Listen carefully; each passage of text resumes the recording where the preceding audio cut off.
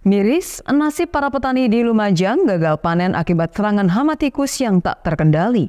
Berbagai upaya telah dilakukan, namun hama tikus semakin menjadi-jadi. Data dari HKTI Lumajang, sebaran serangan tikus di Lumajang kini mencapai 400 hektar. Salah satu lahan yang parah terserang hama tikus di Lumajang berada di Desa Jatigono, Kecamatan Kunir. Di wilayah setempat terdapat 130 hektar lahan persawahan yang terserang hama tikus. Serangan hama tikus di desa setempat sudah terjadi dalam kurun waktu dua kali musim tanam atau delapan bulan terakhir. Bahkan kini serangan tikus semakin tak terkendali, nampak tanaman jagung milik warga yang sudah berbuah habis terserang dan dimakan tikus tanpa sisa. Tikus-tikus tersebut menyerang tanaman saat malam hari. Para petani sudah melakukan berbagai upaya, mulai pemberantasan dengan racun maupun diburu secara manual namun serangan tikus justru semakin menjadi-jadi. Kini para petani pun pasrah lantaran biaya bertani cukup mahal, sedangkan tikus menyerang saat tanaman sudah mulai berbuah.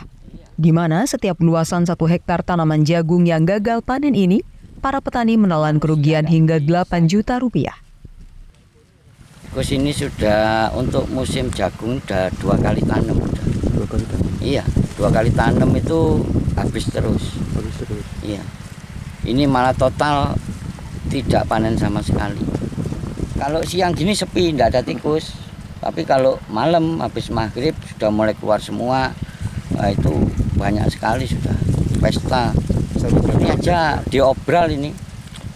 Diobral daunnya ini daunnya. diobral. Untuk pakan ya? Ya untuk pakan ternak. Pak. petani sudah melakukan ngeracun tikus sudah sudah berkali-kali cuman ini pengendaliannya sekarang ini sangat anu, sangat.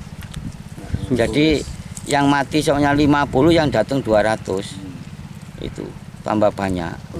Padi kemarin padi. Setelah padi kacang jagung timun terong.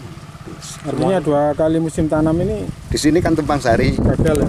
Ya dua dua musim kalau kerugian petani gimana pak banyak tergantung yang ditanam apa kalau dari termasuk berarti itu ya banyak lah kerugian banyak Pak seberapa parah Pak untuk hama tikus di sini Pak? Eh?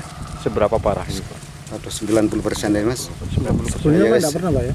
Dari Data dari Himpunan Kerukunan Tani Indonesia atau HKTI Lumajang, sebaran luasan lahan yang terserang mencapai 400 hektar yang terjadi di 8 kecamatan. Dari Lumajang, Yongki Nugroho, JTV.